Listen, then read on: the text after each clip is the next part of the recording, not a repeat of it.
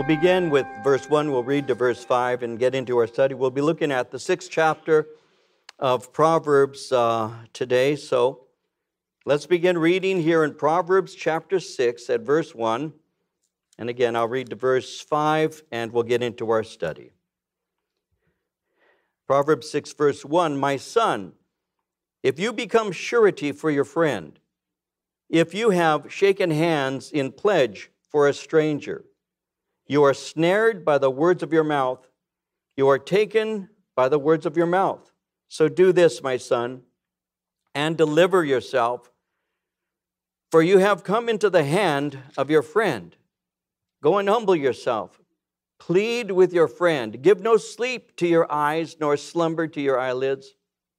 Deliver yourself like a gazelle from the hand of a hunter, and like a bird from the hand of the fowler. So Solomon continues here in chapter 6, giving practical advice to his son. And this practical advice that he's giving to his son is intended to enable him to live wisely.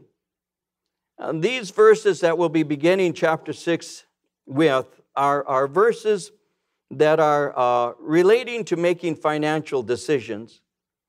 And so that's how it begins when he says in verse 1 if you become surety for your friend, if you have shaken hands in pledge for a stranger, you are snared by the words of your mouth, you are taken by the words of your mouth.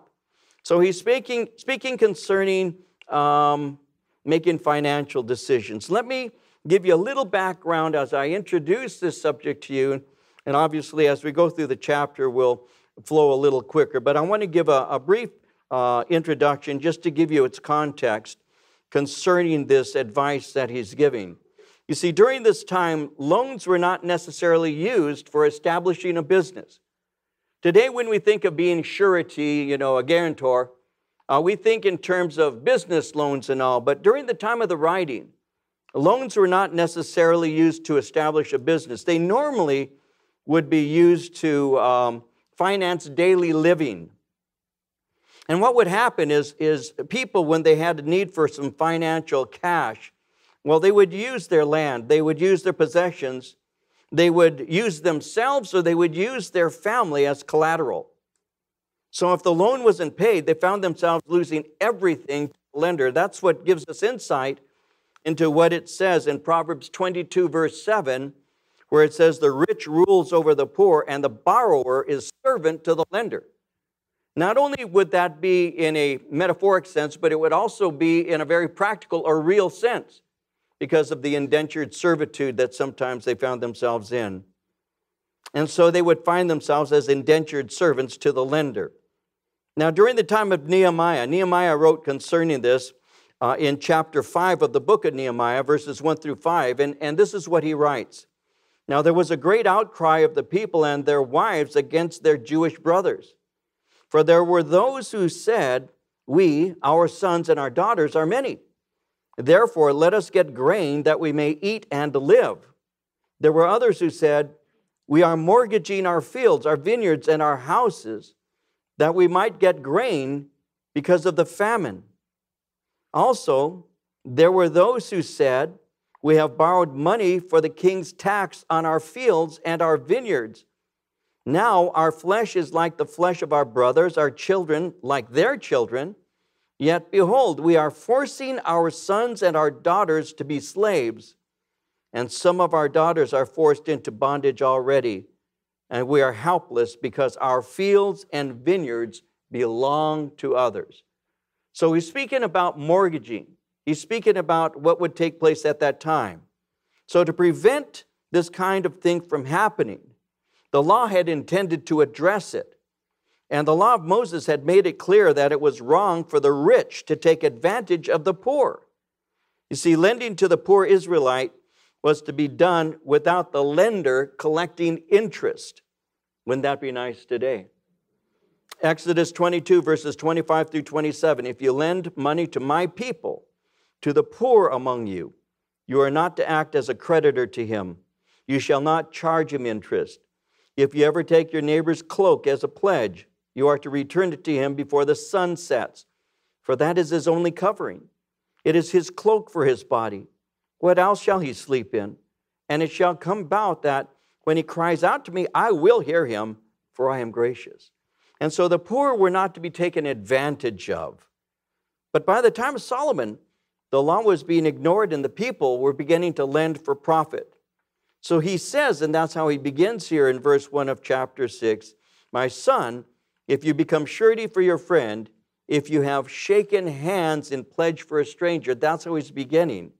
And so he's speaking concerning becoming a guarantor or a signer, a co signer, putting up security. Now, I want to note a couple things very briefly with you. Look at verse 1 again. Notice he says surety for a friend, but notice at the end of that same verse he says pledge for a stranger. The word friend there in the Hebrew language is the word companion. It speaks of another person. And it not, it's not necessarily speaking of, of a very deep, close, and personal friend so much as the stranger. It's just speaking concerning somebody else.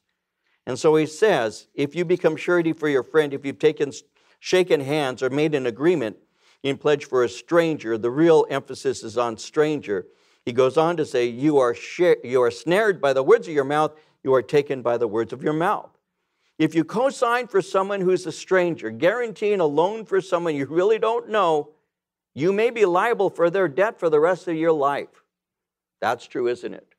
And that's what he's speaking about. And there are those today who might impulsively sign to guarantee somebody else's loan.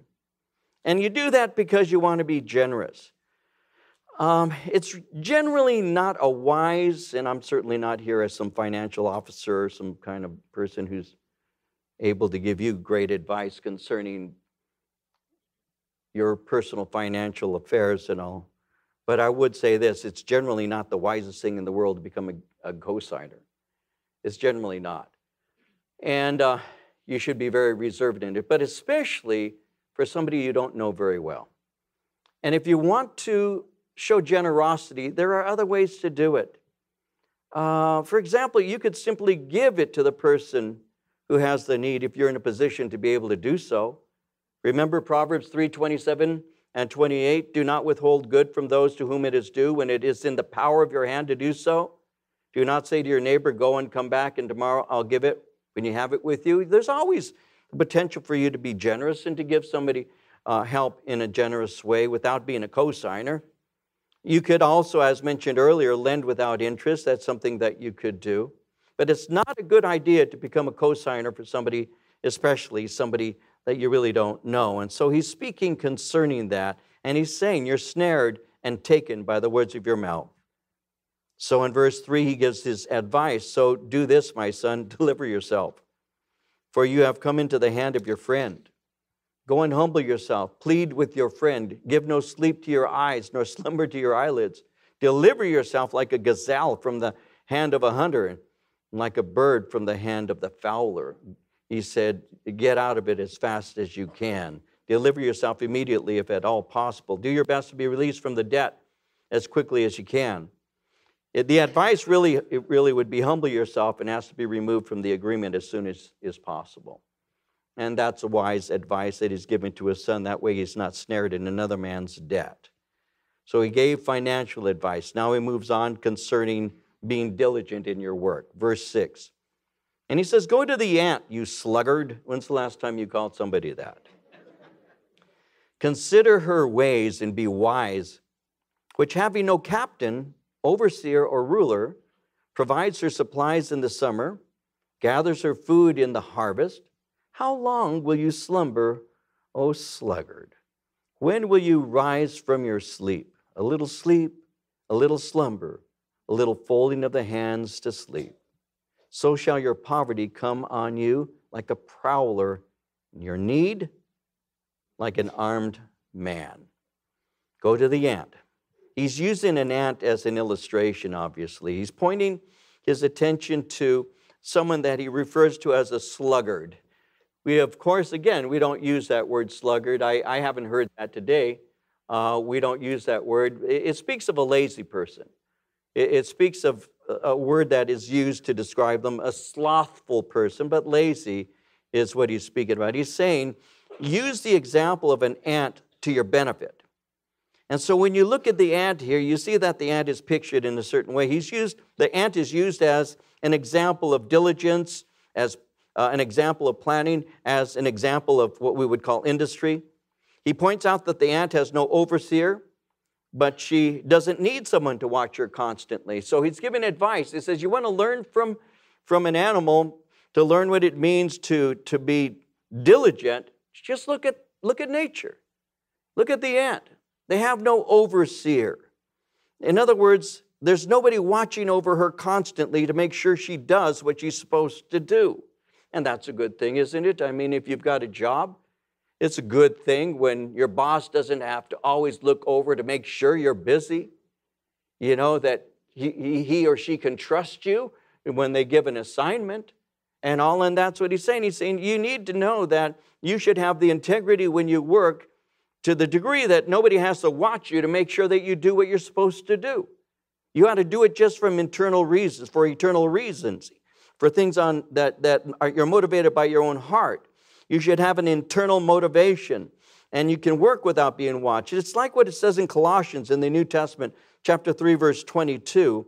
Bondservants, obey in all things your masters according to the flesh, not with eye service as men pleasers, but in sincerity of heart, fearing God. You ought to be able to do the job, he's saying. Take the ant as an example. She doesn't have an overseer, yet she does the work that she's supposed to do. You ought to do that too. You ought to have an internal motivation uh, to do the work and to do it well. Many years ago, we had somebody, I'm talking 33 years ago at least, 33 at least, Somebody came in and said, I need some financial help. Can you, can you help me with a particular bill? And, and we said, which we believe was the right thing to do then and continue to do so to this day, should we be in that same kind of position, we said, What can you do around the church so you can work off whatever we give to you? Because I don't think it's a good idea just to hand people money to go pay their bills. If you've got an able body, you ought to work for it. It gives you a sense of dignity. You're doing something right. You're not ripping off the Lord or the church. So what do you what can you do? Well, anything you need. So we said, okay, well, we were moving into a small building on Grove in the city of Ontario, 2,500 square foot uh, industrial building, and it had two bathrooms that probably altogether, if you were to add up the square footage on the floor, probably represented maybe 60 square feet. It was just, you know, a, commode and a, uh, a, sink and just a small area. And there were two of them, so it couldn't have been 60 square feet at all. So we needed to put in some, some tile. And, and I'm not talking about, you know, fancy tile. I'm talking about going to Home Depot or Lowe's or whatever and finding the dollar squares that they have those and just pasting them down. And so we said, Can you, we, we, why don't you put these down for us? Okay. And so I'm doing my work and I'm in my office all day and I, I come out at around lunchtime, I come out and he's sitting, this fellow's sitting on his, on his side and, and he's, he's put maybe, and he's been there about four hours, and he's put maybe eight pieces down. Now, I'm not thinking about it. I walk in and I look, I say, oh, I'm not thinking about it. And so I come back at the end of the day, and he, he didn't even finish that one room. And so I thought, well, he must be doing other things. And so the next day, I walk in, and he still isn't finished with the second. Now it's lunchtime. And so he took off for lunch, naturally, because all that hard work made him hungry. And so I took my lunch. I sat down in about 10 minutes. I finished just, I mean, how hard is that? You know, put it down. He came in and I said, you know, the job's done. Oh, okay. And he left and never came back. So we paid his bill. It was, uh, I believe, rent, and he took advantage. And so from the very, very beginning, we've believed that you really ought to take lessons from the ant. You ought not to be slothful. You ought not to be lazy. If you put your hand to do something, you do it with all your might. You do it with excellence, and you do it as unto the Lord. You do it without the need for someone to be looking over your shoulder to make sure that you get that job done. Because your internal integrity ought to drive you to do the best that you can at all times. And if I'm the kind of man who needs somebody to watch me to make sure I do what I'm supposed to do, then I'm lacking character. And so you ought to be able to do the job, is what he's saying, and look and see as an example an ant. An ant doesn't have an overseer, doesn't have a superintendent, doesn't have a supervisor, doesn't have necessarily a boss, but she's industrious. She does what is in front of her because that's what she's to do. On her own, she's driven by an internal motivation and she works without having to be watched. In verse 8, he speaks concerning the fact that she provides her supplies in the summer and gathers her food in the harvest. And so he uses her as an example of diligence. She diligently is providing supplies. Diligence causes her to, um, to do work that will end up providing for her needs. And it helps, by the way, her diligence helps to alleviate burdening other people. So he uses the ant again as an example of preparing for the future, of doing what is necessary. She works with others, preparing for the good of the colony. And in the end, she works in community, doing her share to provide for all. Use the ant. Because the ant isn't doing something independent for just the ant's sake, but it's for the community's sake. And so when you're doing something, remember that you're doing it not just for yourself, but for others. It says in verse 8, she provides for both the summer and works during the time of harvest. So this is a picture of careful planning. She prepares for times of need. In Proverbs 20, verse 4, it says, The lazy man will not plow because of winter, but he will beg during harvest and have nothing. In Proverbs 26, verse 16, the lazy man is wiser in his own eyes than seven men who can answer sensibly. He's always got a reason for why he didn't do what needed to be done. And so he speaks concerning that and then moves on in verse 9 with a question How long will you slumber, O sluggard? When will you rise from your sleep? A little sleep, a little slumber, little folding of the hands to sleep so shall your poverty come on you like a prowler, and your need like an armed man. In light of the ant's diligence, he rebukes laziness. He points out that the ant works both day and night, but a lazy man refuses to work. It's an exhortation to rebuke laziness forcefully. Why? Sloth is sin. There is danger to being lazy he's saying you end up in poverty. In Proverbs 10, verse 4, he who has a slack hand becomes poor, but the hand of the diligent makes rich.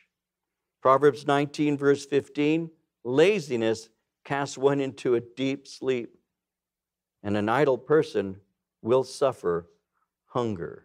So, once again, he's encouraging people to diligent work and to provide. Moving into verse 12.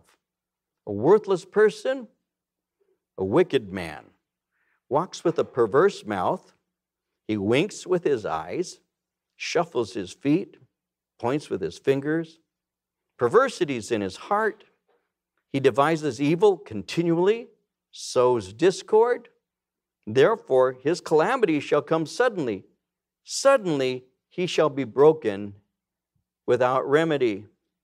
So, the slothful person is rebuked harshly.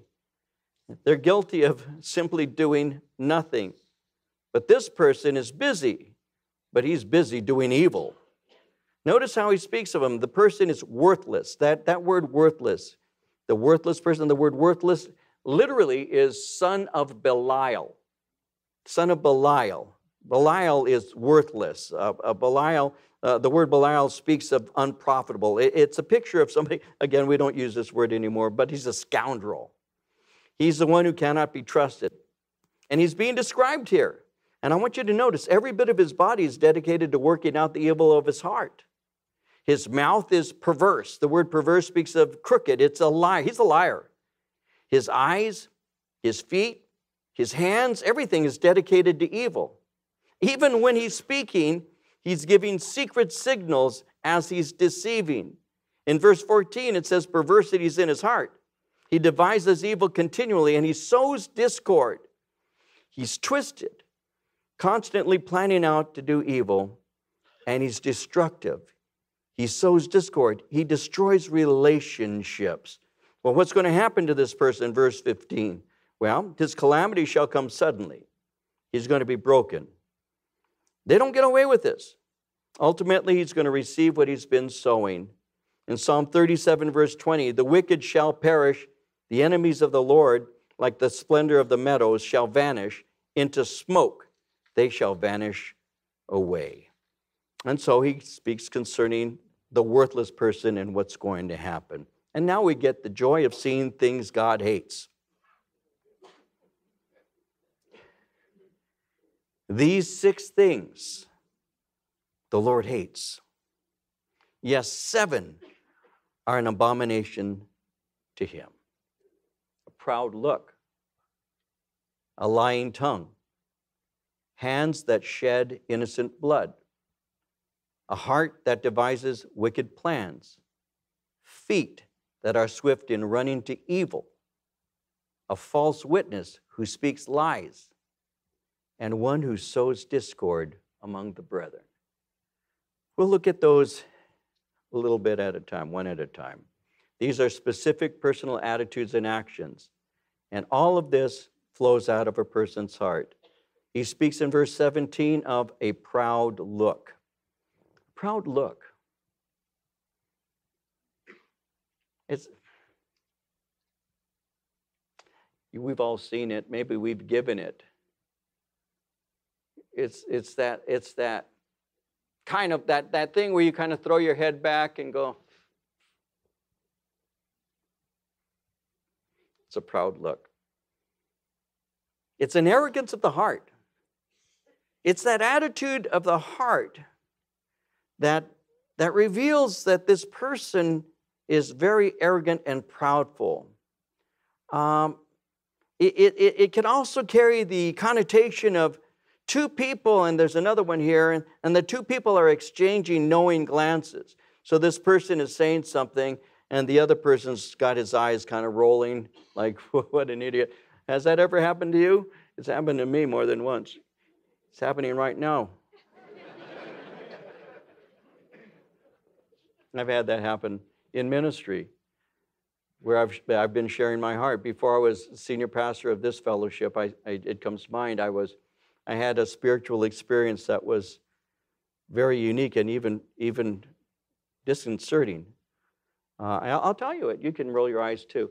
Um, but it was before we began this ministry. I was an assisting pastor in another fellowship. The senior pastor was moving in a particular direction, and uh, I was having difficulty in the direction that we were going. But we wanted to be open to the power of the Holy Spirit and the and the things that God could do. And we were praying a lot, often. God, reveal yourself. May your Holy Spirit reveal yourself. We prayed that all the time. And one night, I had a dream. At least I still to this day, and we're talking many years ago now, 37 years ago. I was in bed. The room became very bright light. I was on my right side. The light was shining from the left. I rolled over, and there were two young people who were right next to my bed. And I looked at them and I said, Who are you? And they said, We are angels that have been sent by God to anoint you for suffering that you're about to endure. And I said, If you're truly from the Lord, is Jesus Christ the Son of God, second person of the most holy Trinity? Because I had read that you test the spirits through, I had read that in a Chick tract. So I tried it. And they laughed and said, Yes, Jesus is the Son of God. And one of them reached over and touched my forehead. I felt a warmth from the top of my head to the tip of my toe and they disappeared. I shook Marie, my wife. We just had angels in the room. And she looks at me, she says, okay, and goes back to sleep. goes back to sleep. and I'm just like blowing my mind. I mean, was this a dream? Was this real? What was it? I mean, you know, Joel 2, Acts chapter 2, speaks about visions and dreams. And, and, and I'm a charismatic. I believe that the power of the Holy Spirit is resident within the church. The gifts of the Holy Spirit are still exercised. Why can't God reveal something? And, and I'm wrestling with this. And so it's a, it's a Sunday morning. I go to church, and, and a couple of the elders and the senior pastor in the room were about to pray. And I say to them emotionally, This is what happened. And, and, I'm, I'm, and I'm taking a chance in telling them this because you feel crazy. Did this really happen? Well, we've been praying that God would reveal himself to us. Did he do that? Is this real? Did he? That was what I was going through. And I'm sharing with, with wow, you know, I, and I'll never forget the senior pastor as I looked down, he didn't know I could still see him as he turned and gave this look to one of the elders. Like, I never forgot that. But within a month or so, I resigned my position as assistant. I suffered, Marie and I suffered in ways we had never suffered before. The heartbreak, the tears, the pain. And I remembered they said, We're anointing you the suffering you're about to endure, and you, you will make it through. So I believe that was a real event, I'll be honest with you. I'm not going to go out and write books visited by angels. I'm not going to do that. but I do believe that that was a very real event because within a short time, we went through the pain that we'd never felt before in ministry. And God was with us every step of the way. But this, this arrogant look that he's speaking about, this look, this exchange, this proud look, uh, many of us have experienced that. And he says, This is something that I hate. A second thing, a lying tongue. And that means a deceptive person, uh, somebody lying or giving false impressions. I hate this. It's somebody who practices deceit. They practice so much they become experts at lying. Uh, Romans tells us in chapter 3, verse 13, their throat is an open tomb. With their tongues, they have practiced deceit. They are skillful at it. He says, I hate practice deceit, lying tongues. He goes on, hands that shed innocent blood. Of course, this would speak of murder, but it also speaks of using your energy to be harmful to somebody else. In verse 18, a heart that devises wicked plans. This is a will that is bent on destruction of other people, no matter what the cost is. In Zechariah, in chapter 8, verse 17, let none of you think evil in your heart against your neighbor. And do not love a false oath, for all these are things that I hate, says the Lord. In 1 Corinthians 13, verse 6, love does not rejoice in iniquity, but rejoices in the truth. God says, I, I hate a heart that devises wicked plans. Verse 18, continuing, uh, feet that are swift in running to evil. This enthusiastic involvement in activities that produce pain in others. Can't hardly wait to get there to do something bad. Verse 19, a false witness who speaks lies. When this false witness who speaks lies is spoken of, he's speaking of the one who's a, who, who, who assassinates character and does so through gossip. In Leviticus 19:16, you shall not go about as a talebearer among your people. Titus 3:2 says, Speak evil of no one. In Proverbs 26, verse 20, without wood, a fire goes out. Without gossip, a quarrel dies down. He says, One who sows discord among the brethren.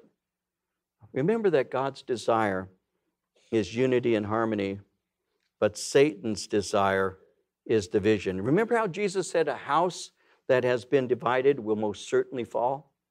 If there's anything the enemy wants to do, keep this in mind. Keep this in mind in a practical sense. If there's anything the enemy wants to do, is he wants to bring division. Always remember that.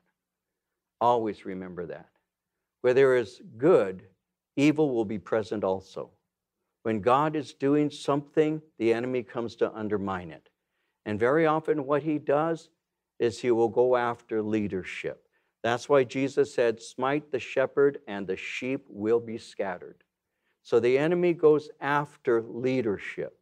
And when, you ha- when he has help of people who say things concerning those people, things that are not true, this is deceptive speech.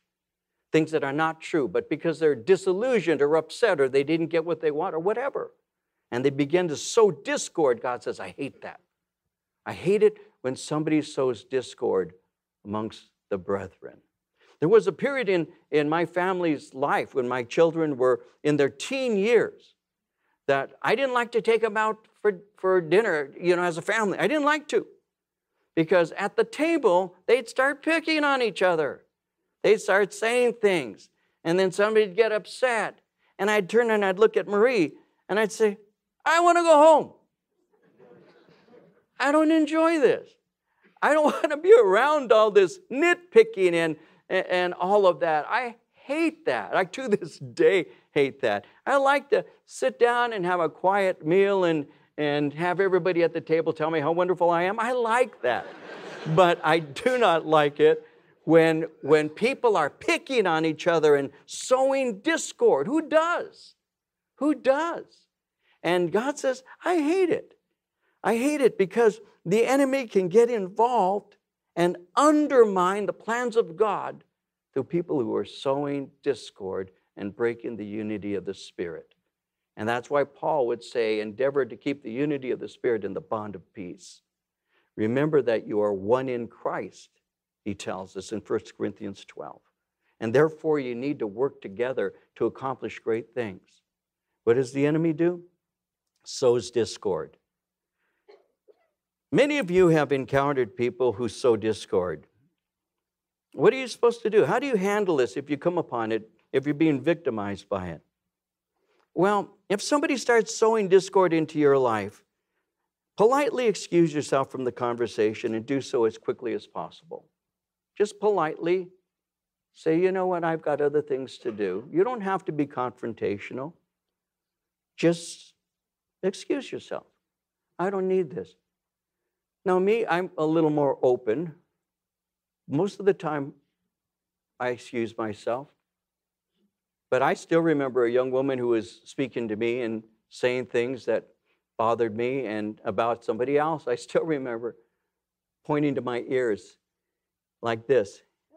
I said, Do You see these? She goes, Yeah. I said, Do these look like trash cans? No, they're as big as trash cans. No, I didn't say that. I said, Are they, do they look like trash cans? She says, No. I said, Why are you pouring your garbage in me? Why are you doing that? Because gossip's destructive. It's something you should avoid. And if you have people complaining and whining and gossiping about somebody to you, politely excuse yourself. If you want to talk about that person, talk about him or her while on your knees to the Lord. But don't bring that to other people. My mom told me something when I was a kid that I've never forgotten. My mom said, You're stupid. But she also said, My mom said to me, David, anything that someone says to you about somebody else, you can count on the fact that they're saying something uh, about you to somebody else. Always be aware of that. Anybody who's free with their mouth about others to you will be free with their mouth about you to somebody else. Keep that in mind. So, why would we entertain gossip? Sometimes they say, Well, I'm not entertaining gossip, it's a prayer request. That's just a nice way of, of saying, Tell me more. You know, because I don't want to be receiving a bad report about somebody. It's unfair to them, it's character assassination, and God says, I hate this. The one who sows discord amongst the brethren. This is something that you cannot do. In Galatians 5, verse 14, all the law is fulfilled in one word, even this you shall love your neighbor as yourself. In verse 20, continuing, my son, keep your father's command. Do not forsake the law of your mother. Bind them continually upon your heart. Tie them around your neck. When you roam, they will lead you. When you sleep, they will keep you. When you awake, they will speak with you. For the commandment is a lamp, and the law, a light. Reproofs of, of instruction are the way of life, to keep you from the evil woman, from the flattering tongue of a seductress. And so he continues on to give a father's command. And he's saying here, keep your father's command, don't forsake the law of your mother. In other words, respect the teaching of your parents. Why? Because the things that they're teaching you will protect you in life. The things that they're pouring into you will be ingrained in you. The things that they teach you concerning what is right, what is wrong, the things that they teach you concerning God and His Word become the foundation of your decisions in life. And so, verse 21, he says, So bind them continually upon your heart, tie them around your neck. In other words, constantly remember what you've been taught. Wear these as ornaments. When it says in Proverbs 3, verse 3, let not mercy and truth forsake you, bind them around your neck, write them on the tablet of your heart. This chain around the neck symbolized honor. It's a picture of moral character. So he's saying these are the things that will form your moral character. Verses 21 through 23 when you roam, they'll lead you. When, they, when you sleep, they'll protect or they'll keep you. Somebody said this The law of God, which your parents taught you, shall lead you and direct you concerning how you should order all your steps and actions. It will inform you and give you counsel and comfort at all times, whether when you are awake and even when you sleep. You know, I have dreams to this day where in my dreams, I, I'm being reminded in my dreams of moral lessons that I've learned over time. And that's a very real thing. There are things that will just rattle within you because they're part of your character. They, they are who you are. The, the moral teachings you receive form your character, inform your decisions. And because this is true, you value their effort as they attempt to train you. He's saying, don't resent your parents. Learn from them. Thank God for their efforts to help you. An interesting proverb, Proverb 30, verse 11 there's a generation that curses its father and does not bless its mother. And we need to be careful that we do not curse our father and that we do bless our mama. In verse 24, he says, to keep you from the evil woman, from the seductress. Here he goes again. Listening to them will preserve you from sexual sin that springs from lust. And he begins to speak about that again, verse 25. Do not lust after her beauty in your heart, nor let her nor let her allure you with her eyelids. That's an interesting phrase, isn't it? We used to use the term batting your eyes, you know.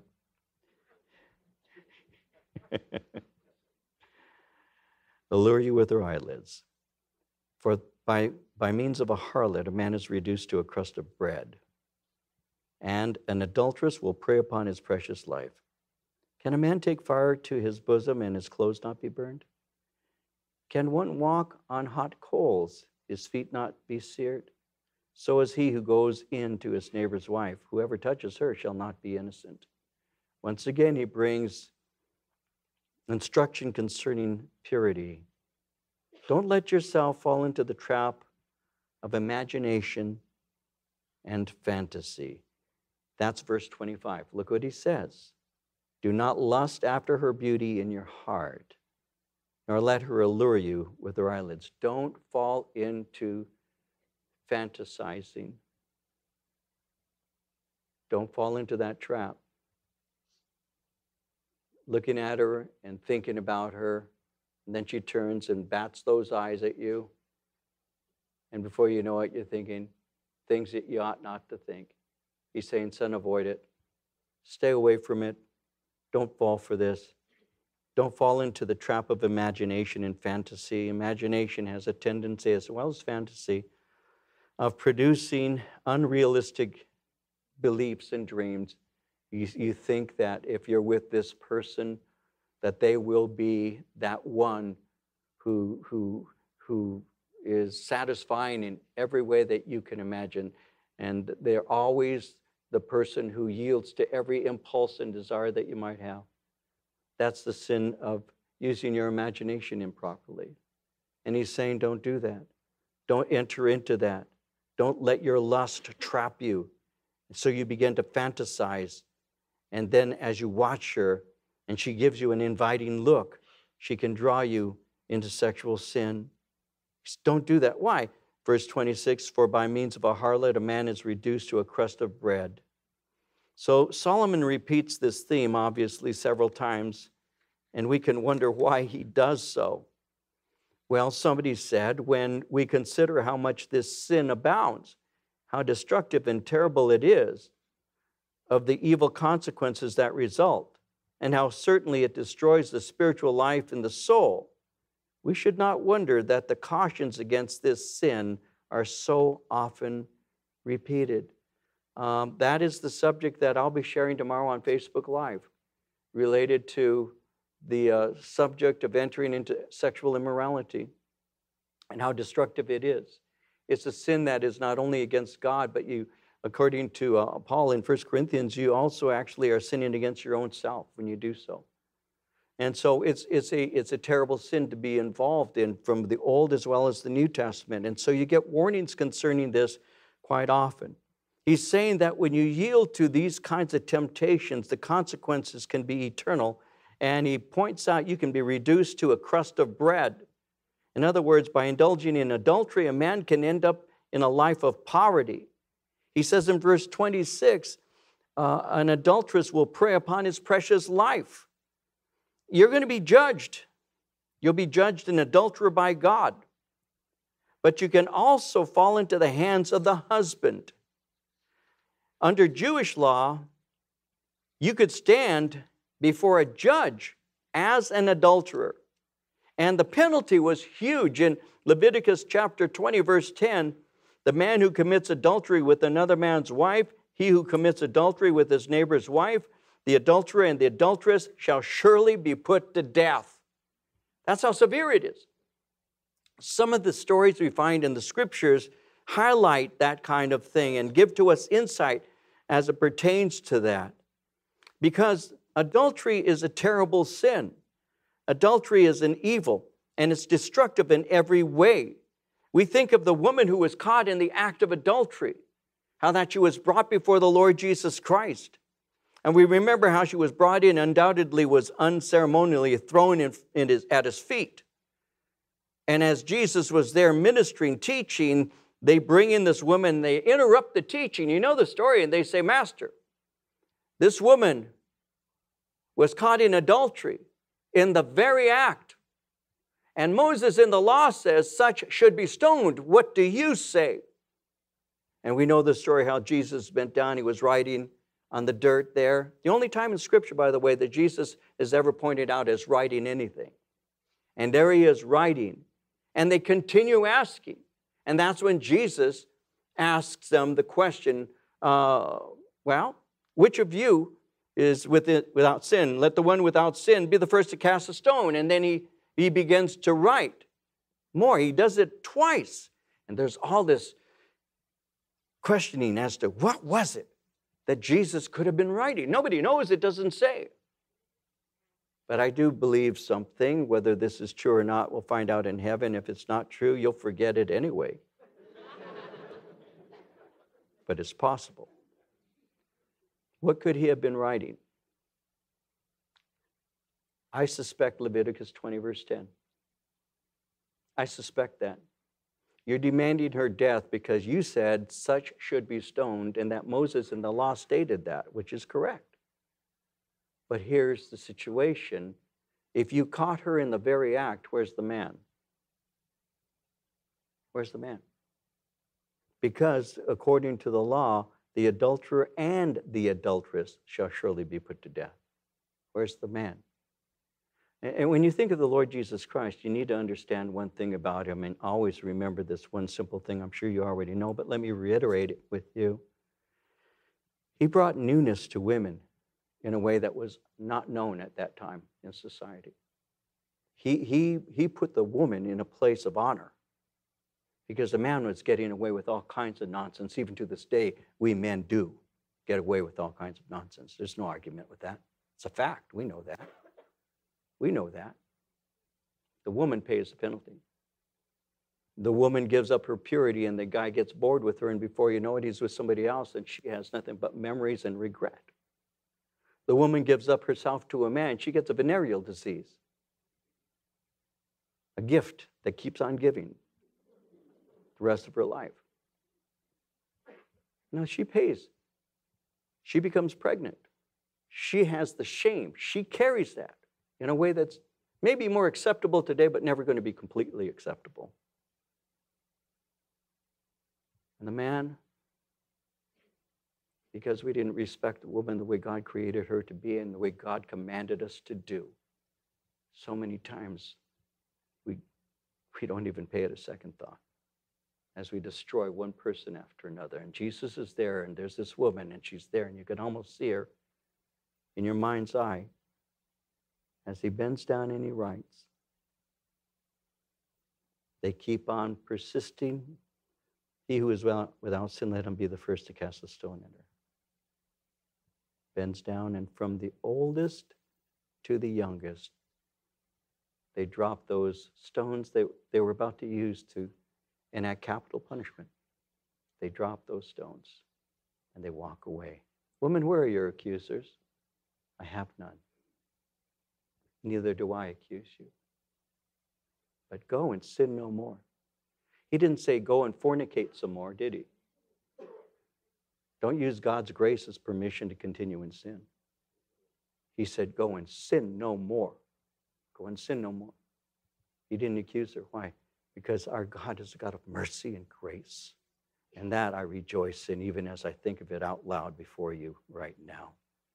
And this man, this man that we have here, this is a man that's being warned, and he's saying, No.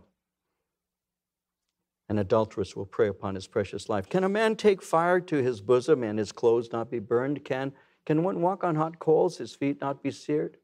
So is he who goes into his neighbor's wife. Whoever touches her shall not be innocent. Sexual sin has consequences, though not necessarily reaped immediately. You can think you got away with it. But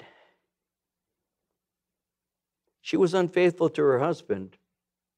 Why would she be faithful to you? You're going to pay in one form or another.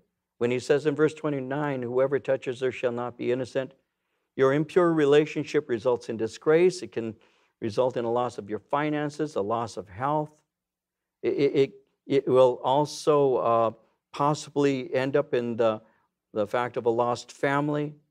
Your life will be reduced to nothing. Insignificance and harm occurs, and you are burned. Verse 30 People do not despise a thief if he steals to satisfy himself when he's starving. Yet when he is found, he must restore sevenfold. He may have to give up all the substance of his house. And so there's a general sympathy for those who steal because they're hungry. They need to feed their kids. But there's restitution before he's able to put this all behind him. In verse 32, whoever commits adultery with a woman lacks understanding. He who does so destroys his own soul. Wounds and dishonor he will get. His reproach will not be wiped away. Jealousy is a husband's fury. Therefore, he will not spare in the day of vengeance. He will accept no recompense, nor will he be appeased though you give many gifts. You may get past the sin, but the reproach remains as long as you live. I say the name King David. And if you think for a moment and I say, Do you have a name that you'd associate with him? Some people would say, Oh, yeah, Goliath, right? Some would say, Well, Absalom, that's quite obvious. Absalom was his son, tried to steal the kingdom. Goliath, Absalom. You know the average person who doesn't even read the Bible, if I say David of Israel, name somebody associated with him. Bathsheba. Bathsheba. That's one of the that's normally the first name that comes to mind. Why is that? because he committed adultery with her, because he had her husband killed. She became pregnant. And he tried to hide it all. It's interesting when you study King David's life, what an amazing warrior, what a great king, what a wonderful leader, but he will always be remembered for Bathsheba. Always, always. His reproach stays with him. You may get past the sin, but the reproach remains as long as you live. There are ministers, pastors, teachers, well known, who entered into sexual sin. And if you mention their name, and I won't mention any names, but if you do, the first thing they'll say is, Oh, yeah, I remember when.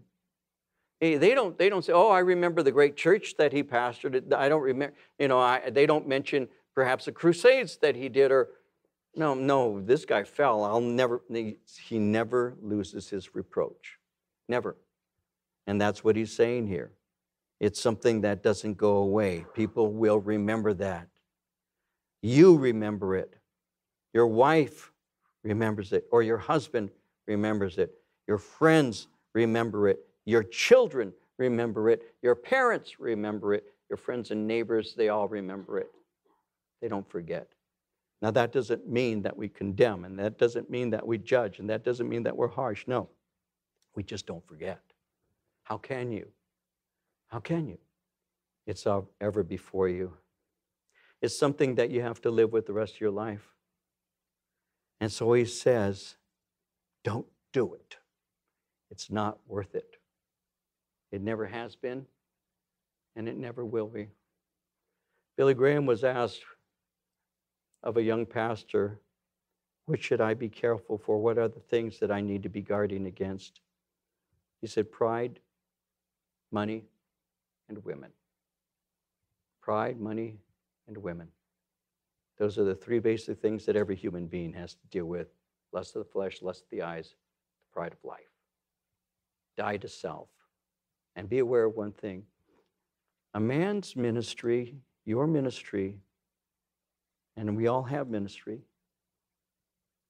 is built on a variety of things, but what makes that ministry have credibility is your character, your integrity. I don't want to be the kind of person that says, I know he did these things, but what he's saying is true.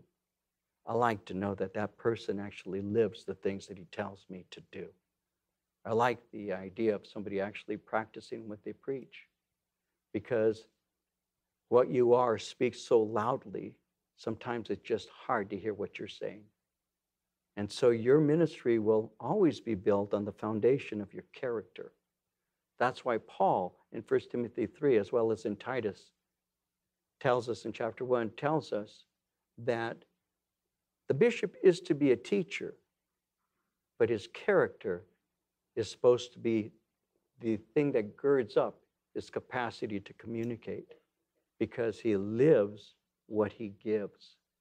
And all of us have had people share with us how we should live when in fact that person telling you that isn't living that way themselves. And so remember that always that when we are out doing service of the Lord, no, I'm not saying we're all supposed to be perfect. If that was the case, only perfect people could serve the Lord, I'd be here all by myself today.